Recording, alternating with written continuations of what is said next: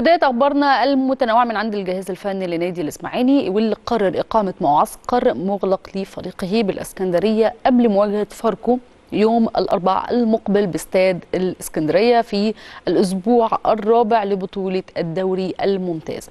نادي الإسماعيلي بيبحث عن أولى انتصاراته خلال بطولة الدوري الممتاز. الجهاز الإداري لفريق طلائع الجيش قرر خوض مباراة ودية أمام حرس الحدود يوم الحد اللي جاي. ده طبعا في إطار استعدادات الفريق لبطولة الدوري الممتاز. آه، فريق طلائع الجيش دخل معسكر مغلق يوم السبت اللي فات وخاض ودية مع الداخلية. انتهت بالخسارة بهدفين مقابل هدف. تعالوا نروح لنجمنا المصري طبعا المحترف ضمن صفوف نادي ليفربول الإنجليزي محمد صلاح. واللي أعرب عن سعادته بعدما توج بجائزة جلوب سكر 2022 بتصويت الجماهير لأفضل لاعب في العالم. وكتب محمد صلاح عبر حسابه الشخصي على إنستجرام من الرائع أن أتواجد في دبي مرة أخرى في هذه الليلة المميزة. شكرا لكل شخص صوت لي.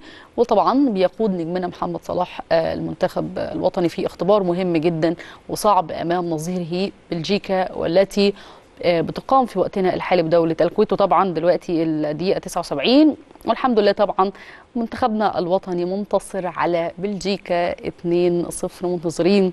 طب 2-1 2-1 أنا كنت لحد ما دخلت الهوا كانت 2-0 آه، 2-1 ولكن إن شاء الله نقدر إحنا نكسب المباراة. وما عنديش مشكلة إنها تفضل لحد كده. زي ما قال الكابتن وليد صلاح عبد اللطيف هي مش مهم النتيجة قوي مباراة ودية آه، ولكن مهم جدا إن إحنا نقدم عرض كويس مهم جدا أنت تختبر نفسك في هذه المباراة تعتبر اختبار حقيقي طبعا لمنتخبنا الوطني. وأنا شايفة بصراحة يعني وقت ما دخلت ال- الهوا الساعة 6 وأنا شايفة إن إحنا كنا مقدمين مستوى جيد جدا. أول ما دخلت كان مصطفى محمد قدر إن هو يحرز آه، هدف. بعد كده وأنا على الهوا عرفت كمان إن آه، تريزيجيه من أسيست من صلاح قدر إن هو يحرز الهدف الثاني تعالوا نروح بقى للمنتخب الكاميروني واللي أنهى استعداداته لخوض مونديال قطر بالتعادل مع بنما بنتيجة 1-1 في المباراة الودية التي جمعت المنتخبين ظهر اليوم الجمعة على ملعب محمد بن زايد في الإمارات قبل التوجه للدوحة للمشاركة في نهائيات كأس العالم. وكانت هذه آخر مباراة ودية بياخدها منتخب الكاميرون. قبل مشاركته في كأس العالم ضمن المجموعة السبعة واللي بتضم البرازيل وصربيا وسويسرا.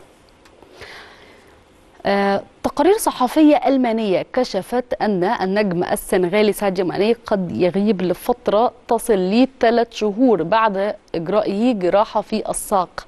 حرمته من المشاركة في مونديال قطر 2022 وذكرت صحيفة بلد الألمانية أن النجم السنغالي يحتاج ثلاث أشهر للتعافي من آلام العملية الجراحية ليكون جاهزا للمشاركة في المباريات. منتخب بلجي... بلجيكا جاء في صدارة قائمة المنتخبات الأعلى من ناحية القيمة التسويقية في المجموعة السادسة من بطولة كأس العالم مجموعة اللي بتضم منتخبات بلجيكا كرواتيا والمغرب وكمان كندا. وجاءت القيمة التسويقية للمنتخبات الأربعة كالتالي. منتخب بلجيكا 563.20